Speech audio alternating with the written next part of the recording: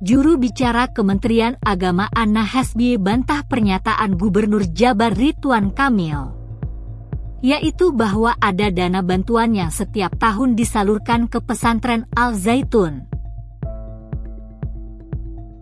Anna tegaskan informasi ada dana yang disalurkan ke Al Zaitun tersebut tidak benar.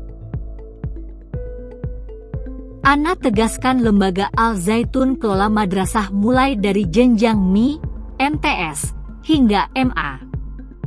Jumlahnya siswanya tersebut juga cukup banyak. Data di Emis Kemenak catat, ada 1.289 siswa MI, 1.979 siswa MTS, dan 1.746 siswa MA. Sesuai regulasi, para siswa ini berhak mendapat BOS, kata Anna Hasbi. Ini berlaku untuk seluruh siswa yang belajar di madrasah dan memenuhi persyaratan, lanjutnya. Jadi kewajiban kami, pemerintah, penuhi hak-hak belajar mereka melalui BOS, sambungnya.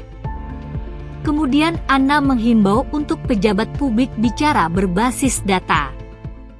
Terima kasih sudah nonton. Jangan lupa like, subscribe, dan share ya.